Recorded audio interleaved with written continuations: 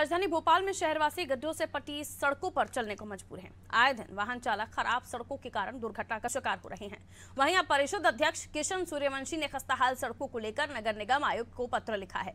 उन्होंने कहा कि नगर निगम सीमा क्षेत्र के अंतर्गत सभी गारंटी पीरियड की सड़कों की मरम्मत की जाए। इसके साथ ही समय सीमा में कार्य पूर्ण कर नगर निगम आयुक्त से रिपोर्ट भी मांगी है। ये पिछले दो साल से नगर निगम के चुनाव नहीं हुए। उसके बाद स्वच्छता में भोपाल उस समय उन्नीसवें नंबर पर कैसे पहुँचा?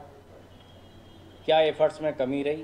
जिम्मेदार कौन कौन है किनका दायित्व था उस काम को करने के लिए?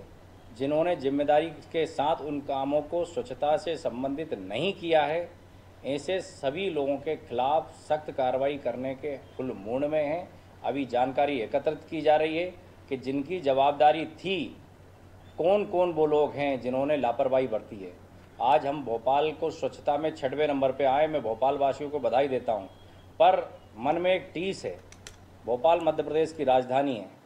और राजधानी होने के नाते भोपाल बाकी ज़िलों को इंस्पायर करने का काम करता है, इसलिए हम छठवें स्थान लायक तो कम से कम भोपाल को उपयुक्त नहीं माने।